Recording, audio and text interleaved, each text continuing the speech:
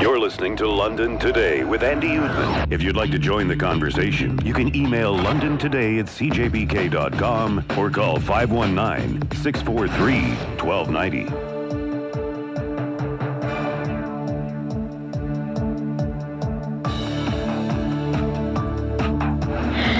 I'm Sabrina Shannon, reporting from Pembroke, Ontario.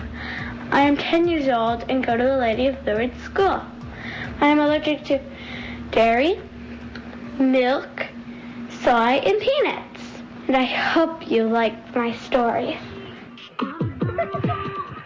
Went to the Pembroke General Hospital and they told me she was still at the school and there I saw her being transferred out of the school with her arm dangling and lifeless and I knew it was uh, very I knew it was anaphylaxis because it was around the lunch hour time.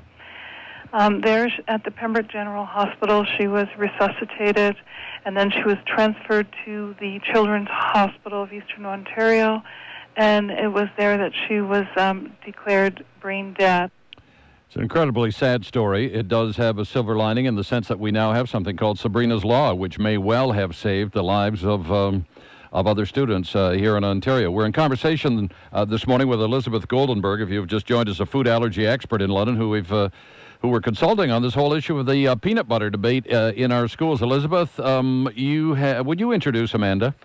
I'd love to introduce Amanda. I just met Amanda last weekend.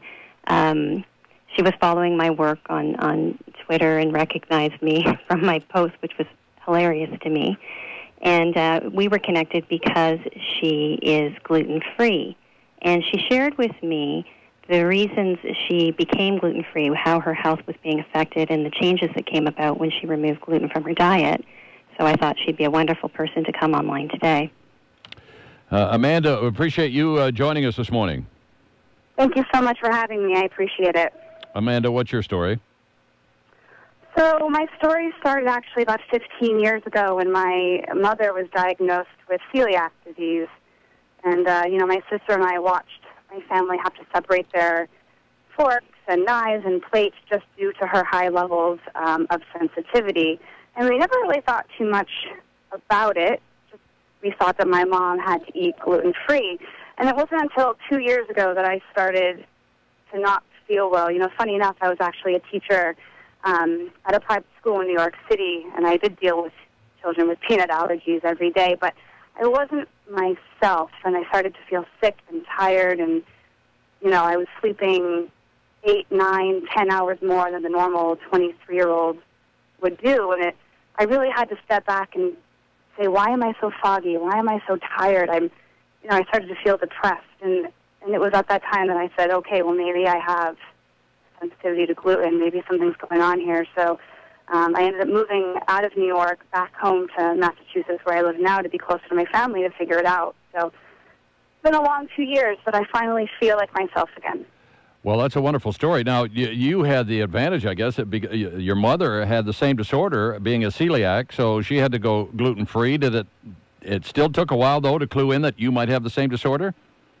Yeah, you know, it it was funny. She kind of was like, you know, she was alienated, alienated almost. You know, we, my father, my sister, and I ate pasta, and she cooked pasta for us, and she still made bread and all that. But she, we just thought she had to eat different, and we never, you know, and I look back now, and we never came together as a family and really embraced it. So, so now that I have what I have, now all of us look at it differently, and we're on a path of, you know, educating people and trying to understand it. Well, so so, was, good of you.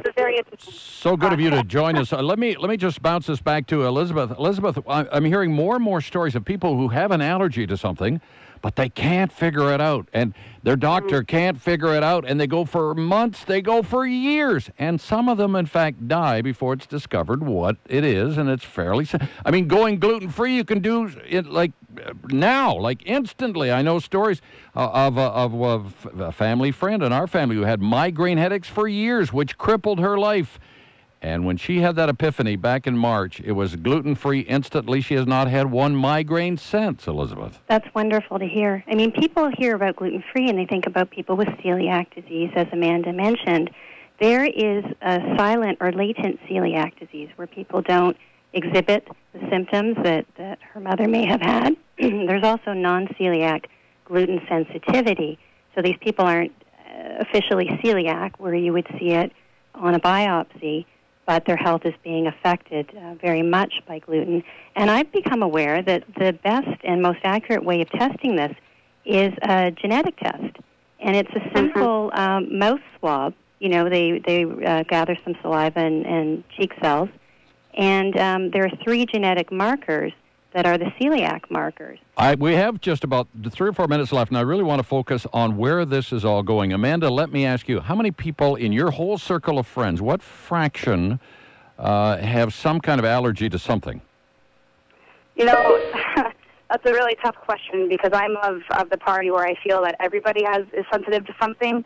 You know, gluten isn't even technically a protein that we're supposed to digest. So I feel that a lot of us are sensitive to something, and but people in my family are allergic to, to, to gluten, and I don't even know how that became. You know, I don't I don't understand that. So we're trying to figure it out. But there's a lot of people in my circle who are affected with allergies. uh, Elizabeth, give us some numbers. Uh, how uh, huge is this monster called allergies? Well, people with identified uh, potentially life-threatening allergies, those are now one in thirteen. They've studied mm. Canada, they've studied the U.S., and that's the consistent figure 8% of the population. I'd like to say, you know, it's a personal issue for each individual to decide is it important to me to look at my diet and see if I'm sensitive to something? Will I feel better without gluten? Will I feel better if I have less um, dairy? But for those that are identified allergic individuals whose life is actually threatened by allergies, it becomes a public issue. Let's go down a list, make a list, if we could, Elizabeth, on the fly here, of all the things that our kids are now allergic to. It, uh, some of them are very rare, but uh, peanut butter has to be on the top of the list. Yeah, there's the, what they call the top eight allergens, and those are uh, fish, shellfish, soy, peanuts, tree nuts, so that's every other kind of nut, dairy, uh, gluten, and wheat. So they say the most common ones to cause a severe reaction are the peanuts, followed by dairy. You do get more remote allergens. You've mentioned cherries, or I, I just was looking at a blog post on celery. The thing is, because they're much less common and um, they don't see as many emergency room visits, they can be deadly. Those aren't dealt with school wide in terms of policies. Those are dealt with classroom by classroom.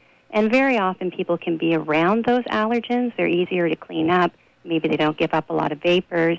Um, or maybe it's a simple thing just to say, if you would, just please don't send cherries to this classroom.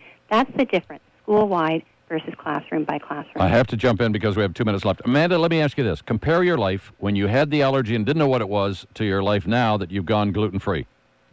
Sure. So, you know, I was um, I was an athlete, so I, I always I never really looked at my diet because I always ate carbs and breads and pastas kind of fuel for my energy. Um, but it wasn't until it wasn't until I got older that I started to realize that you know, I didn't. It, it, the fogginess and the headaches and the bloating and all of that was very prevalent in my life, and I just dealt with it. I just thought that that was going to be my life until I, I sat down, like Elizabeth said, and made a personal choice to dive into my uh, my diet and what I was doing, and and I, I haven't I haven't felt better. You know, I have some some funny allergies, like I'm very sensitive to bananas and apples, and um, I can't tolerate soy. So all of these things really have led to to me, living a happier, happier life. I, I, I feel so much better. Elizabeth, is there the possibility that one of our listeners, 10 of our listeners who've just been listening to Amanda have said, Oh my goodness, I think I may have an allergy? Absolutely. Uh, we could call it an allergy or we could call it a sensitivity. I mean, they are different. They can certainly request uh, the DNA test for celiac or gluten sensitivity. They can ask for allergy testing at an allergist's office.